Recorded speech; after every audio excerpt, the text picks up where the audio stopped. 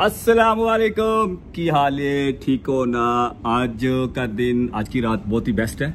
One of my best friend की आज birthday है। हुआ ये कि जैसे किसी की शादी हो आपको इनवाइट करे सेवन ओ क्लॉक तो अभी मुझे पता चला है कि भाई इनका प्लान चेंज हो गया ऑलमोस्ट एट थर्टी तो जी, हमारा आधा जंजालपुर आ गया।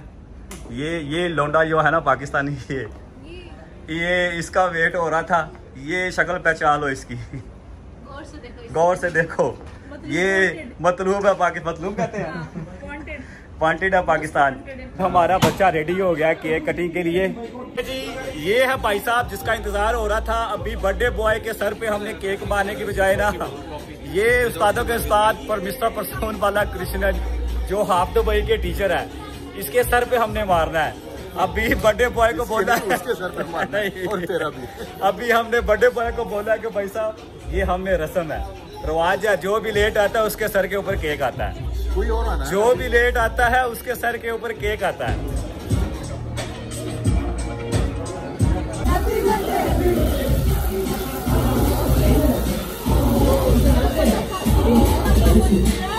वो बेटे।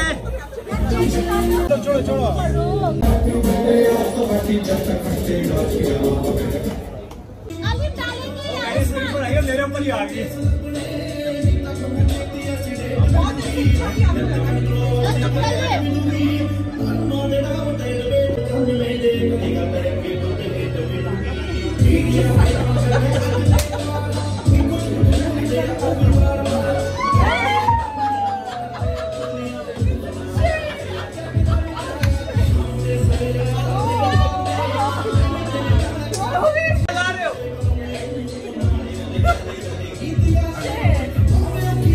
फिर से बोले।